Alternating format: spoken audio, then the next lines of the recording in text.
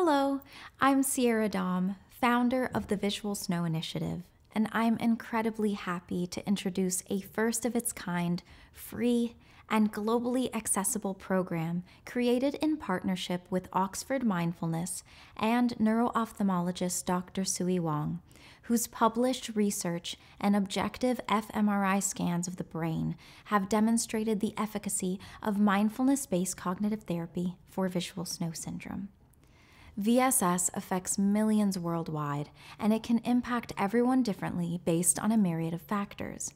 This may include the specific symptoms you have, the intensity of these symptoms, when you began experiencing symptoms, and your medical history. Additionally, guidance from a physician who understands VSS and resources to help are not always available locally. While they may be possible for some, availability of time, access to a qualified provider with knowledge of both MBCT and VSS, and costs are prohibitive for many individuals with VSS. It was important to us to offer a mindfulness program that is globally accessible and free for everyone with VSS, so that anyone who is interested now has the opportunity to try this option if they would like to. Our new program, Mindfulness for Visual Snow Syndrome, is an introductory MBCT based course designed for visual snow syndrome that can be accessed anywhere in the world via computer, tablet, or mobile device, completely free approved by Dr. Wong and designed by Oxford Mindfulness in partnership with the Visual Snow Initiative, Mindfulness for VSS is an abbreviated version of the MBCT that helps study participants in Dr. Wong's VSS research and a VSS specific variation of Oxford Mindfulness's Intro to Mindfulness course. The program is designed to be self paced, user friendly, and optimized for convenience while retaining content from the original MBCT program to maximize efficacy and potential symptom reduction.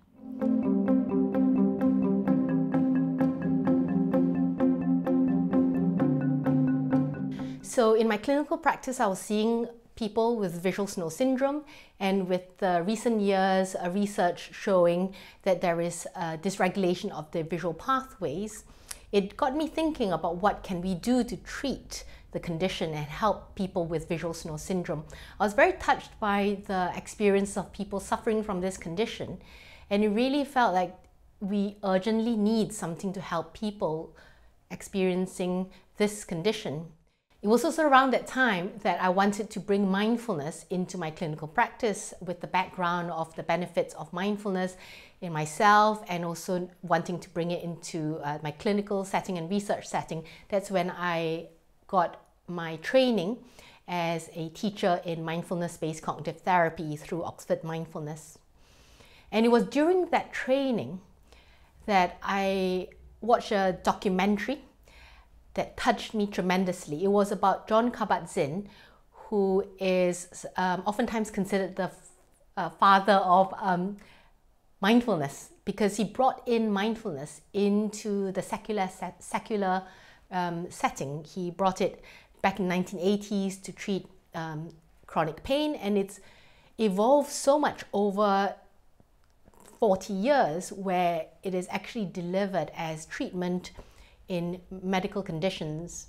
So there is a lot of research to show the benefits of mindfulness and mindfulness-based interventions on brain connections. This could include uh, benefits uh, of mindfulness such as from cognitive function to memory to general well-being of course. The results of that first study, particularly with the functional MRI, it showed that brain network connections changed with the mindfulness treatment, the MBCT vision. And people also reported improvement of their symptoms. So I've been so grateful that that happened.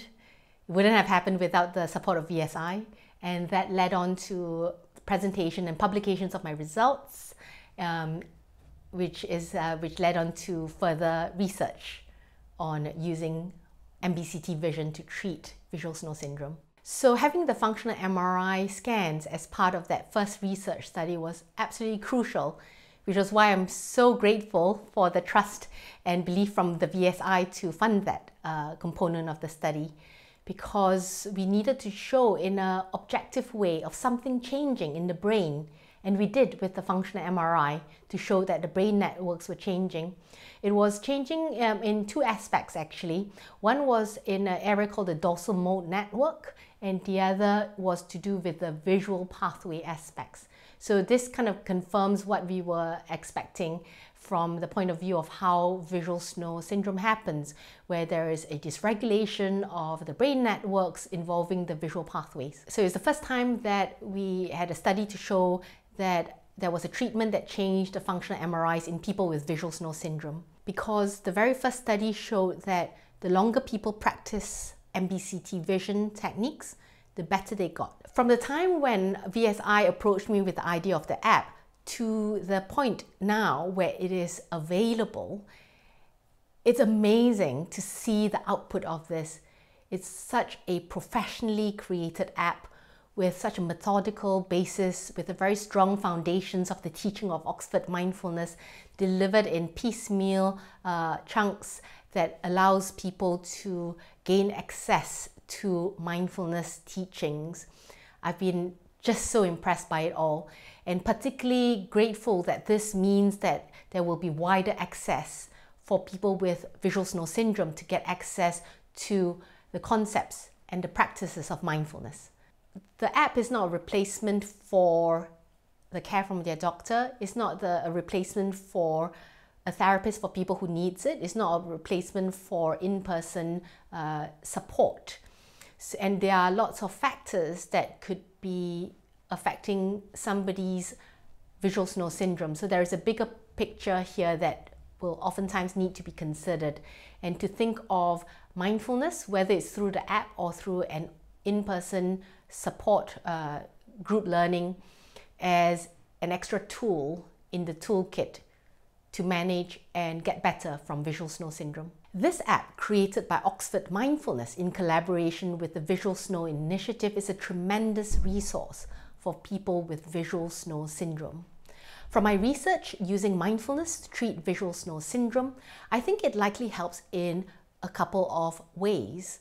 One is that we know in visual snow syndrome there is a dysregulation of visual pathways, and mindfulness can settle this sense of excessive um, hyper reactivity to the visual uh, pathways, and it also trains the change in awareness and the settling of the body from the sense of the vigilance system.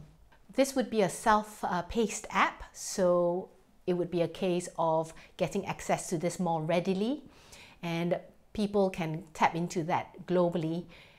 Practitioners, uh, medical professionals who often times ask me how, what kind of resources can we signpost for people to get mindfulness uh, resources and because of the high quality resource from Oxford Mindfulness with this app in collaboration with VSI. So this would be the app that would really uh, help people with visual snow syndrome who want to try mindfulness.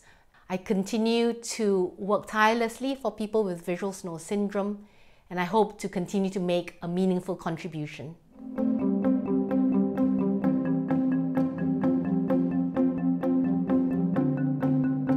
I have to be honest and say that I had not met Sui prior to her presentation at uh, NANOS.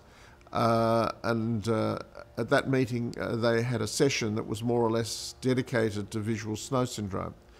Uh, Sui presented her work, which showed that um, using mindfulness techniques, which I believe were based on the Oxford uh, mindfulness programs, uh, they were able to, she was able to demonstrate that over a period, I think it was uh, uh, 8 and 12 weeks or 8 and 16 weeks, that there was a significant improvement in patients um, with uh, visual snow syndrome. And, and let's be clear here that what we're trying to do when we treat anybody is to make them feel better. Almost everything else is irrelevant. So the fact that she could make them feel better with mindfulness was a big step forward uh, on its own uh, without anything else being considered.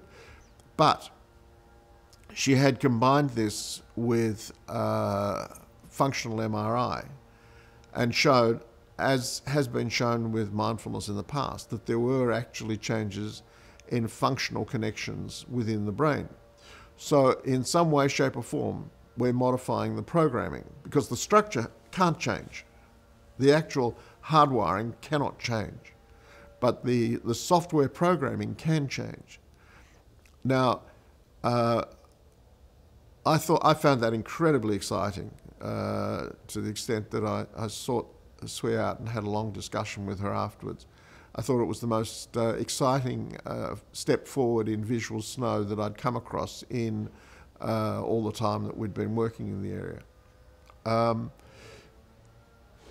you can't make any criticism of the work because it was a pilot study, and so it was a small number. But it was statistically significant. Okay, and, and uh, you can say that uh, statistics are to scientists like a lamppost is to a drunk man, used more for support than illumination.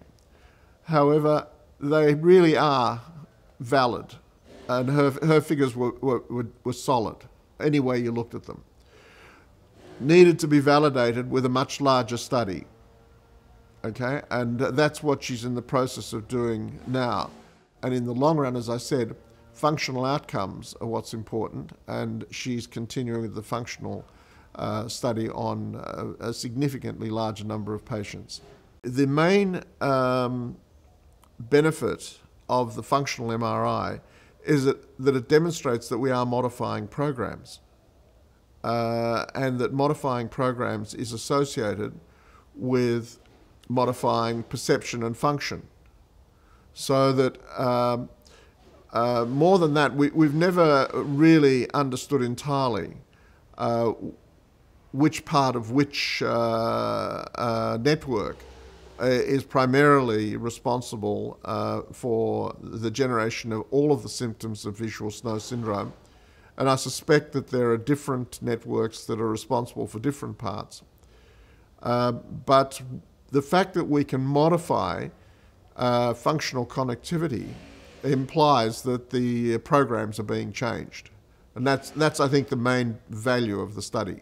I prefer the uh, the mindfulness MBCT um, study because it's very physiological, uh, and I think that um, uh, that this is uh, visual snow syndrome, as I've said, is I believe uh, an abnormality of function predicated on impaired software programming, and this is the one thing that specifically uh, addresses underlying programming uh, from, from other studies as well as from uh, Sui's uh, early studies. Now, with uh, the mindfulness, firstly, you could do that anywhere. Secondly, uh, the cost of doing it is minuscule. Uh, thirdly, it seems to be effective. So I'm really optimistic that um, all of the uh, criteria for an easily distributed, uh, effective therapy are met, and I'm optimistic on the basis that the science behind it is solid. VSS involves dysregulation in the brain's visual networks, causing a constant noise like perception. This dysfunction extends to attentional and salience networks of the brain. Objective functional MRI scans of the brain before and after MBCT show significant changes, indicating that MBCT can target and modulate these dysfunctional networks, inducing neuroplasticity and affecting critical neurotransmitters associated with the biology of VSS, like serotonin. While there is currently no cure, research into possible medications and additional non invasive treatment options is ongoing. In the interim, there are methods available that have been shown to help which are supported by clinical evidence and objective neuroimaging. The expansion of accessible, diverse, safe, and viable treatment options for VSS is important to effectively accommodate the various needs, different symptoms, medical histories, and treatment preferences of the global VSS population. Mindfulness, or MBCT, offers a non invasive intervention to potentially reduce visual and non visual symptoms by retraining brain pathways and alleviating symptom severity. If this option interests you, it will now be available anywhere for you to try at your own pace and comfort. We will be sharing further announcements and the latest updates on all of VSI's platforms in the future, including our website, visualsnowinitiative.org, our newsletter, and social media channels. Feel free to sign up if you want to stay tuned. Thank you so much for supporting our mission to make the world a more accessible and informed place for people of all ages affected by VSS.